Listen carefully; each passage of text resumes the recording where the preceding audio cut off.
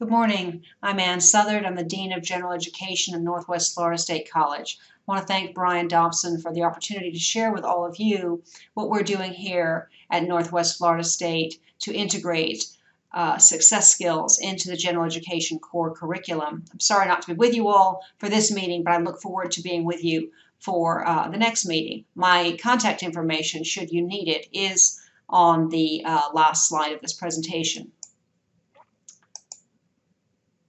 We are calling these skills success skills at Northwest Florida State because we think they're as important to students who enter a baccalaureate program following their general education uh, and AA as they are for students who enter the workforce after an AS or AAS. So that's the reason for our term.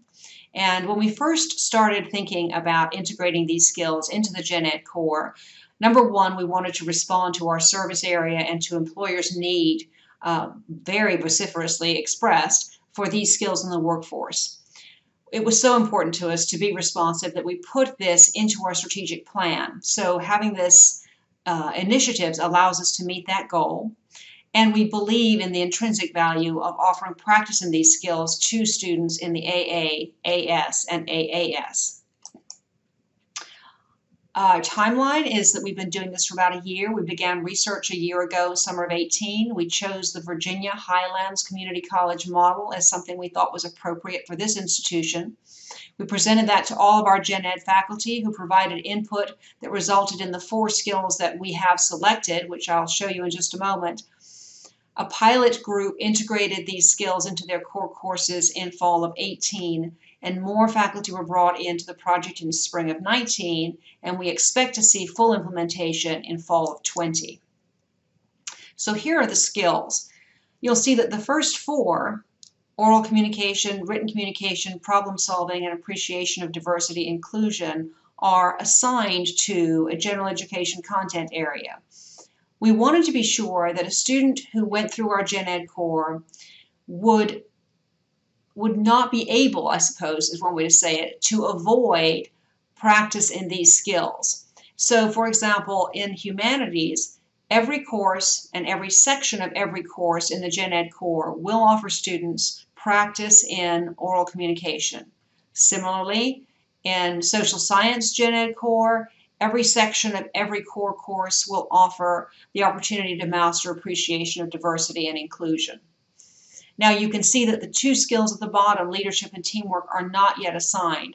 Those are skills that, through the experience of our pilot group, we found were more difficult for the faculty, took more work, um, more pedagogical adjustments, I think, as well to include in their courses. And so at the moment, those aren't assigned, and we're encouraging faculty to adopt these. We do have one faculty member who is including leadership uh, with the appreciation of diversity and inclusion in her social science core courses. We also plan to put in our class schedule which which um, we're going to do digital badging and I'll talk about that in a minute but which courses and sections offer digital credentials and be specific as to which ones we believe that student preference for the opportunity to off, to earn say three credentials in one semester in one course will encourage faculty to um, respond to that enrollment driver and, um, and to include leadership and teamwork. Currently, this is what the integration looks like. You can see our skills there, oral communication, which is in both philosophy and humanities, written communication, which is in composition one, problem solving, which is in uh, general biology and one of our liberal arts math courses, and then appreciation of diversity and inclusion and leadership in American history to and American government. Key strategies that we found helpful. Probably most important was that we ensured that the initiative has been co-led by a faculty member, Dr. Dean Allen, who teaches philosophy.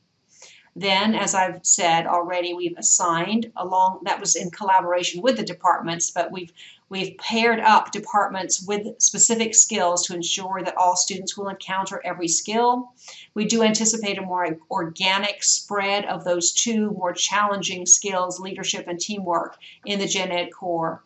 We're also aligning our academic SLOs with the success skill SLOs And we're encouraging students to take Ready to Work. So we're taking that state initiative um, and incorporating it into this one.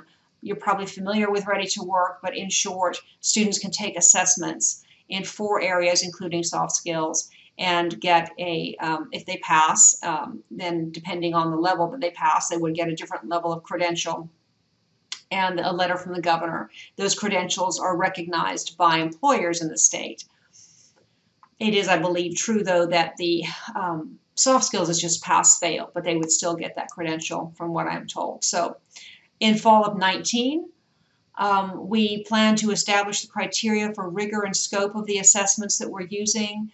We are going to ensure that um, in these assessments we're using the TILT pedagogical techniques. I highly recommend that if you haven't looked at TILT, it comes out of the University of Las Vegas um, with Mary-Ann Winkle, Winkelmes as the uh, lead researcher. It's strong um, impact on retention and stresses clarity and relevance for students. So it's, it's an excellent model.